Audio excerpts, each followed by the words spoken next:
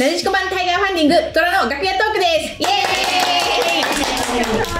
ーイお疲れ様ありがとうございでました。すいい仕事してましたよね素晴らしい。皆さんなんかすごい頑張ってくれたんで楽屋トークも呼んじゃいましたお邪魔してるわよ。はい。本家タイガーファンディング、はい今のトラもすごくヒリヒリして楽しいんですけど、また違った楽しさありますね。えどうでした？いや、やりやすかったです。やりやすかったねえ、でも全然ピリしてませんよい。や、やっぱりなでしこらしさというか、うんみんなでこう、頑張ろうよっていうような部分がすごく感じました。のの。いつでも呼んでください。すごい。すごい。すごいのよ。すごい。え逆に虎の皆さん鈴井さんの司会で続いてどうでした？はい。いや、プロよ。もっとでも突っ込んでほしかったかな。確かに途中途中で。結局どうなの？とかなんかそういうの欲しかった。挽回の機会ください。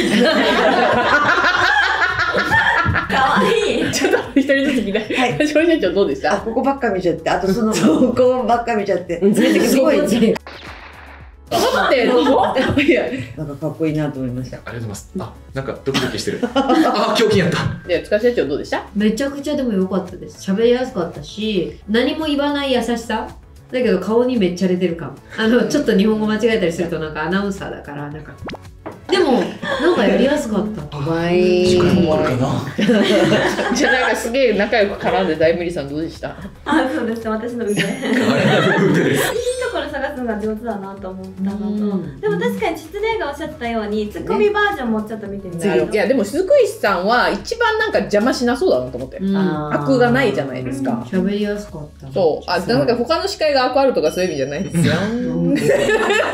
でも難しいですね。優しすぎてもダメだ。あーでもそこは本当反省点ですね。もっと言ってよかったなって思いました。反省して？はい。うん。先生、ぜひ。うるせえな ちょっと待ってくださいあのえっと 宝石違う違う違う城宝石城陽子さんのあの回のちょっとねあの感想じゃないですけど どんなサポートをすればいいと思いますか？皆さん各各 SNS のそれぞれの伸ばし方みたいなことなのかな。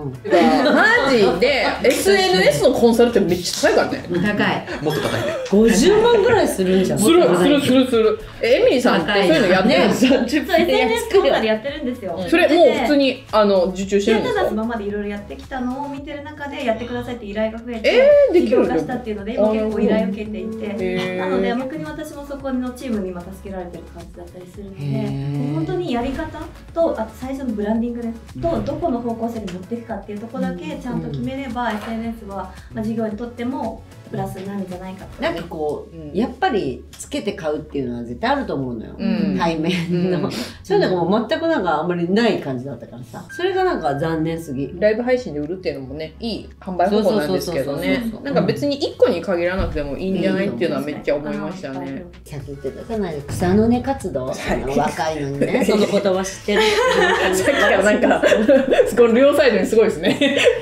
あの、静かしも草の生活してます。それがちょっとやってほしいなと思うの、うん。すごく綺麗だからああいう子がやってるからすごくそうなのよ。いい。やっぱね泥臭くいかないとそうなの。ね。営業は泥臭くいかなないとね。すごいもう55ぐらいのね中身中身がね。私そうっすか。っていうか狐も宝石売ってたっていうのはびっくり。ねだって売らなきゃいけないんだもエステと宝石売ってたんですか、顧客がいっぱいいるじゃないですか、今もエステ売ってるの？アニメも最初ジュエリー売ってますよね。え、そうなの？そうです、そうです。へー。そんなに売れるもんなんですね。芸能人も さっきググってたらめっちゃいろんな小柳ルミ子さんとかいろんな人出てくるんですよ。でも自分のやっぱり足使ってやんなかったらグラフに書けるわけないからね。自分のこと喋るのも大事大事大事。だって歴史のバックボーンには勝てないですからね、うん。だったらこれからどうしていきたいかっていうところを売っていかないとブランド作れないですよね、やっぱり人から買うってことだね。